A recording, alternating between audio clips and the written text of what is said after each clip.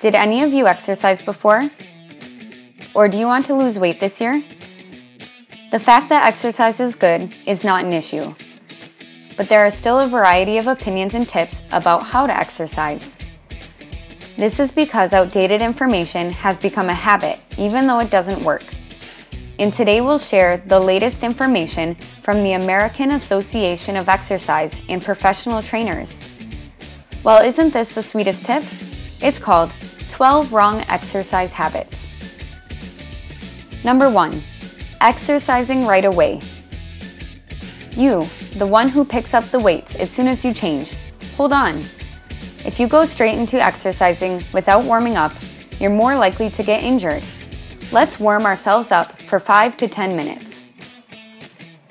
Number 2. Warm up with static stretching. Now let's get it started. Then you split your legs to warm up. Static stretching to stretch your muscles is not suitable for warming up. If your muscles become too tense, you could hurt yourself while exercising. It is important to ensure the range of operation of joints by dynamic stretching rather than static stretching to heat the body up. Now you know how to warm up. Number three, only doing aerobic exercises. Aerobic exercises are good for your heart, but if you want to be in good shape, you have to strengthen your muscles. That way, you can burn calories and increase your muscles.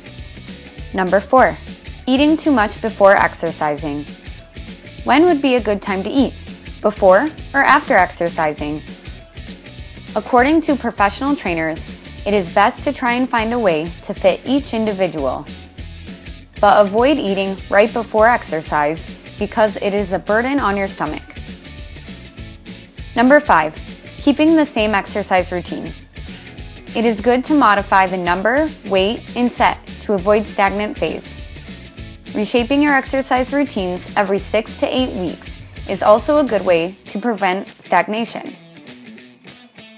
Number six, after aerobic exercise, the sequence of muscle training depends on individual goals. If your aim is to lose weight and increase muscles, do muscle training first. If your aim is to increase stamina, do aerobic exercise first. Number seven, Prioritization of weight increase and speed enhancement. You only take heavy dumbbells and weights to increase your strength. More important than weight and speed is proper posture. Otherwise, you'll be at great risk of getting hurt and you'll be able to grow uneven muscles. Number 8. Choosing a part of your body to lose weight.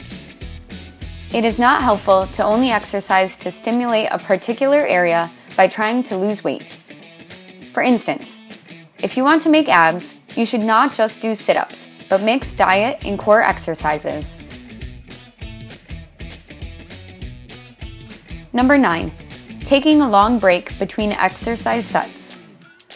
Do you take a break between sets or after a sprint? But it's not a good idea to rest too long. This is because long breaks decrease the heart rate and it is recommended to take a break of 30 to 75 seconds during the lift exercise and a break of 30 seconds to 1 minute during the interval training. Number 10. Exercising every time until you're burned out. It is good to try and push yourself to the limit, but if you exercise this way every time, it can strain your central nervous system, cause muscle aches, and even change your heart rate when you're stable. Number 11, drinking too much water at once. Keeping your body wet is good, but it's never a good idea to drink a lot of water before you exercise. Dividing the amount of water to drink each day is also recommended for muscle and proper balance. Number 12, checking weight changes only. How do you check your changed weight? Many people weigh themselves in a convenient way and weight is just one of the many ways that measure change. Let's measure your progress using a variety of methods, including frequency and number of sets. Let's exercise properly, my friend.